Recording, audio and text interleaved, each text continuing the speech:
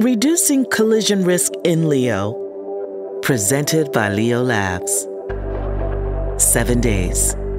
On average, that's how long it takes for the 18th Space Defense Squadron to catalog and identify an object after launch, especially for increasingly popular large rideshare missions. A lot can happen in seven days. With every launch, every payload, and every fragment of space debris comes risk. The more satellites launch into LEO, the more risk there is and the less time you have. Last year alone, there was around 2,500 objects launched into low Earth orbit.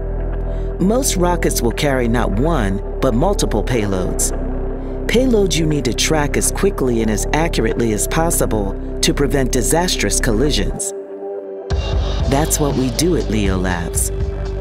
Our team solved that seven day gap since 2017, we've provided critical mission support to significant players in the space industry.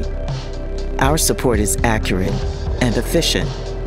And as the space industry grows, so do we. Our phased array radar network continues to expand, growing from a single location to six in just six years, covering both the northern and southern hemispheres. Our world class team holds decades of experience in space situational awareness and space domain awareness. With their expertise, we've built the services and products needed to ensure the safety of a single mission or an entire space system throughout its lifetime. Our suite is comprehensive and iterative, scaling and innovating alongside our customers. In today's dynamic space era, time is of the essence you don't have seven days.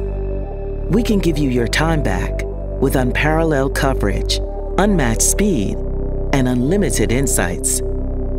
We're propelling the dynamic space era with superior information. We're LeoLabs.